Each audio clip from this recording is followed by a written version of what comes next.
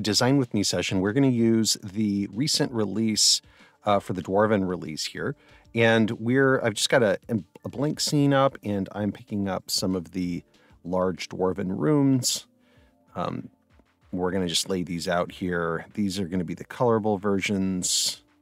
Play around with like different coloration here. I think I'll go with like a kind of purple, kind of deep purple look. And do the same thing on the other side. These are very large rooms. If you can see the, the scale here of the grid, these um, just kind of automatically give you some navigatable areas and some rooms to start with.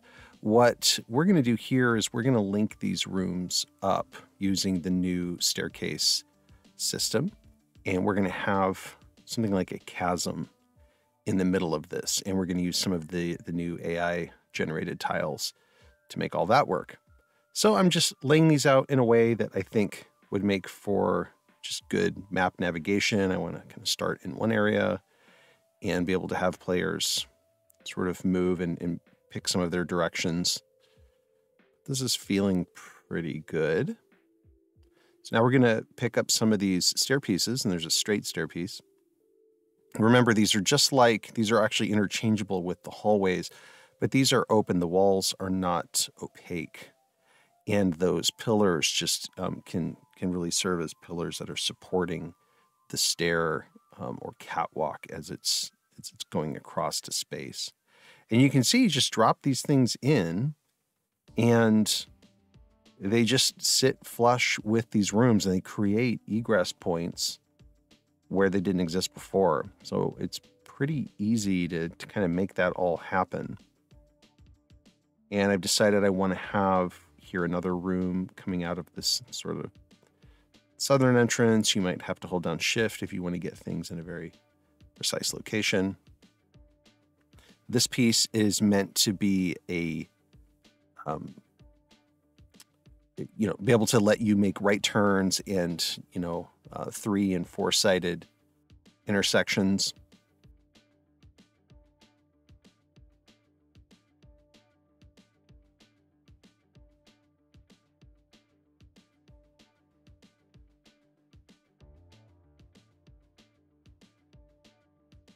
This is just a room that we are basically going to change into a balcony.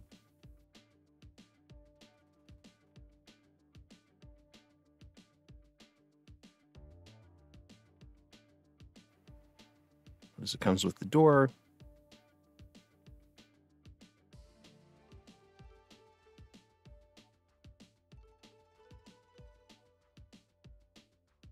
And just to make them all flush, I'm just going to put this small uh, staircase piece in here. This is actually a hallway piece.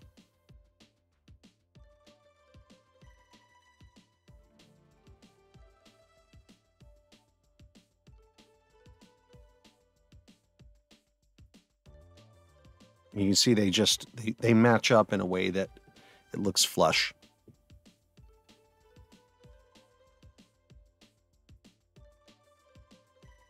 Another staircase staircase piece just to get this catwalk to marry up with the other room.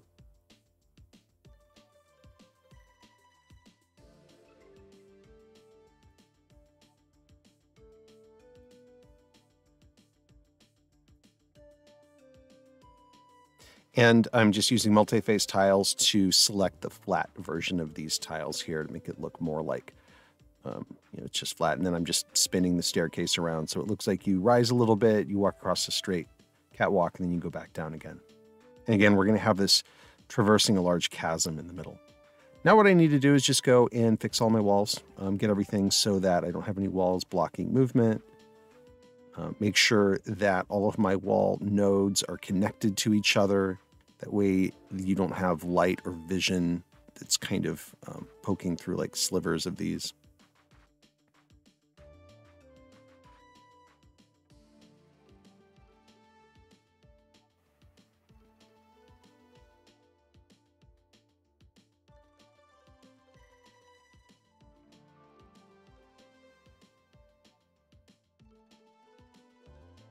So I want all of my walls for these areas to be transparent, I want, um, you know, whether you want light or sound going through.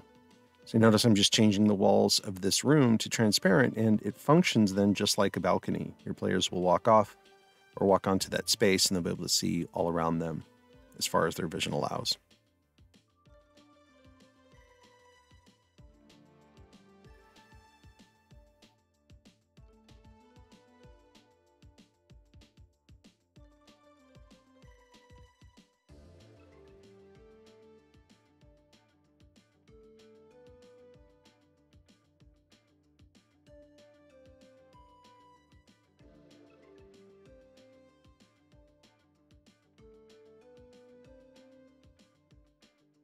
And there we just made uh, these two spaces join up and with relatively little effort. Now I'm going to drag out the tile set for the uh, for the AI generated uh, terrain tiles. Turn on quick edit mode so that I can get to these. Each one of these you can right click and it's got other versions in it. In this case, I'm just going to copy this and I'm going to you notice if I right click, I can see like other kinds of versions. There's versions that have chasms and things like that. Make this nice and large. I'm using quick scale and the bracket key just to, to scale those up. And I duplicated it. And now I've selected the one that's just the, the, um, the overlay tile. And because it's white, I can apply a Token Magic Effects filter to it, and it gives me this nice fiery effect.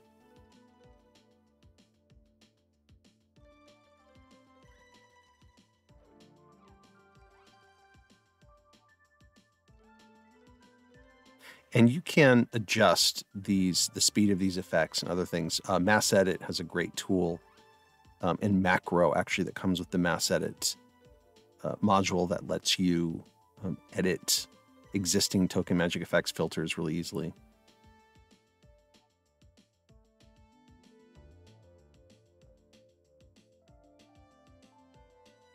You just kind of size this the way that you want and stick it where you want to. I wanted this to look like, you know, deep in the mountain underneath this catwalk is this, um, you know, kind of the heart of the mountain. Maybe it, it uh, powers the forge, that kind of thing.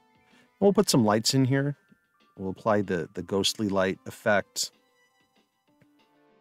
Play with its speed and intensity, things like that. I just want this to feel like that that heat down below and that light is is lighting up the surrounding rock area.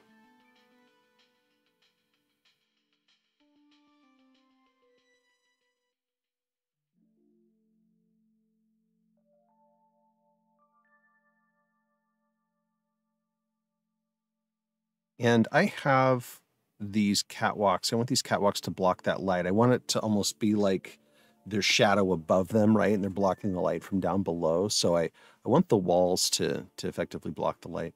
And then I'm just going to create a beacon here for sound. And I've got in my towns module, I've got this lava loop. And we'll have that lava loop um, give just a, little bit more um, sense of, of sort of a large space where, you know, there's this uh, spire down below.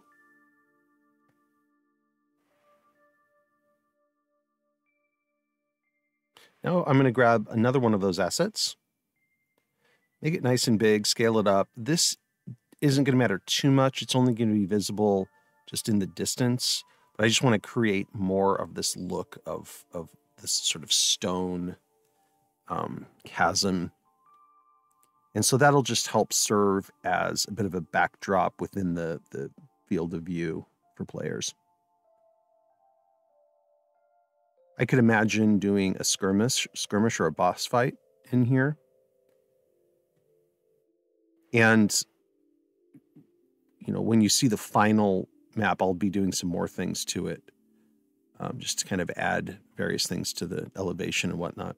But you can see you change the background to black, and you instantly have a great map, right? Everything comes, all these prefabs come with lights and walls already in them. So we're essentially done with the base of the map. At this point, we just you see the the experience of the player walking into this Inferno.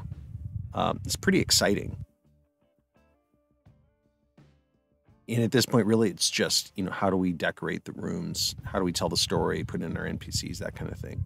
But that's why these AI generated backgrounds, you can see the level of detail you get for almost zero effort at all. Um, you combine it with some of these prefab buildings, and you know we've got a fairly compelling and interesting map um, pretty quickly.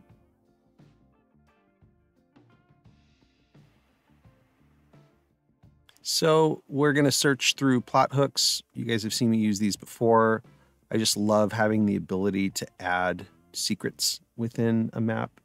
This one is, uh, we're going to go ahead and, and make it a, well, you can make it anything you want. You can see you right click it, make it treasure chest and other things. Um, but we can also color these, right? So that little moving tile is now colored the same purple as the rest of the, the prefab and your players can click on it, interact with it, or you can manage that as the GM, um, but should be able to show them that. Now we're just looking at some of the other Dwarven pieces. Here's that smelter. Um, you can right click it and uh, change it to empty. I've decided I'm going to use this other type of smelter. This one comes with chains. We're going to scale this up by uh, 50%, and that's going to let it span this room really easily. It's already got its chains and its mountings and so we can just literally just slap it in the middle of the room, and we've got this cool, um, you know, smelter that your players can discover, and maybe you've got something in it, or it's something important to the story. Decided to put that other smelter over here. And let's just drop in an anvil. That's from a past release. It's in the Talons module. Again, you could come in here and change these decoration items to anything. You could put beds in these. You could put a, a throne room.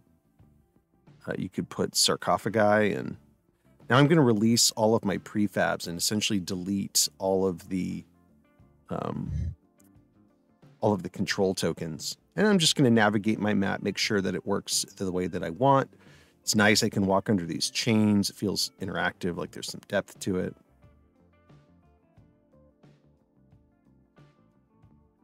And that's as easy as it, as it is to get things rolling here. I do feel like I need a uh, an egress point to this map, so I'm going to use a dig down in um, from Ripper in this uh, tile uh, tile picker plus, and I'm going to look for stairs. And I'm going to grab this really nice one. You guys have seen me use this a ton of times because it goes really anywhere. It's a transparent stair. So it serves as a nice area to teleport players to, sort of an active tile. Um, but that would be like the egress, like how do they get into these dwarven halls? That would be the way in. Maybe it's linking from another map I've, I've got elsewhere in the release. And that's it. Hopefully, you guys got some inspiration from this. Check out my other scenes with the release and let me know what else you'd like to know about. In the meantime, have fun making your maps.